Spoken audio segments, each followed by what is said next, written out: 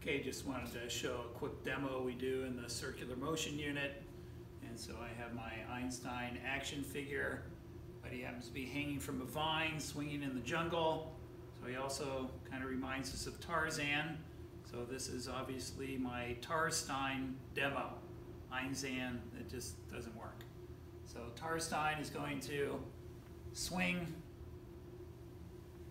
from the vine and we want to figure out the maximum tension and we're given, you might have a little trouble seeing this, but you should be able to uh, zoom in or something. So uh, we're given the angle that I pull Tarstein back and we're given the length and we have the mass of Tarstein and we want to figure out the maximum tension.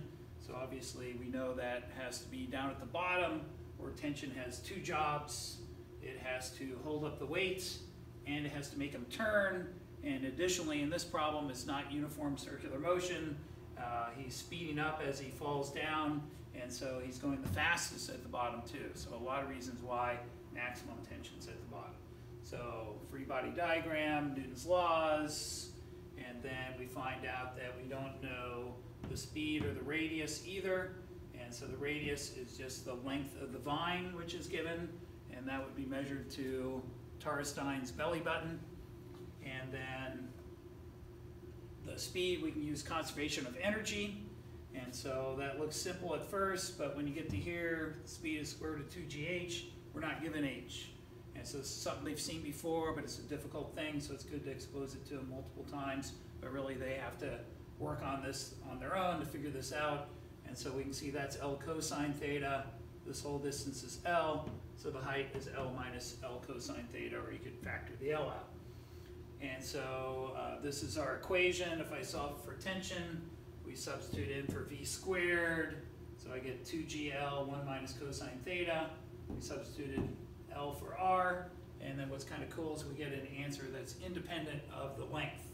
And so every year when I set up this demo, I don't really need to worry about what the length is. It's going to come out to the same math. And we get 0.84 newtons. Uh, then we check that out. and I'll do that real quickly. Uh, what's also cool is you can show that if we were to pull Tarstein back to a 90 degree angle, it would be pretty extreme, that his maximum tension then would be three times his weight. And so that would be very difficult for Tarstein to hold on. So, got the uh, Tarstein hanging from a force sensor.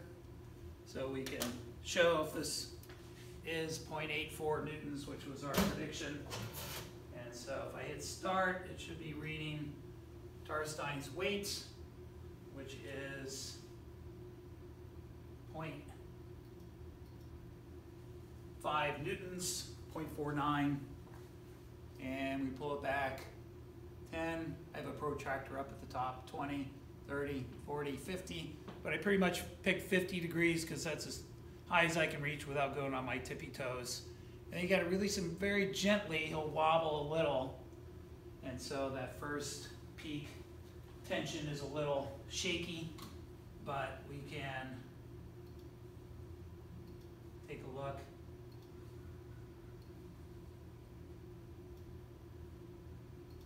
And so the first time through, it's at a little, maybe a little more than 0.8, a little wobbly, but pretty close to what we predicted.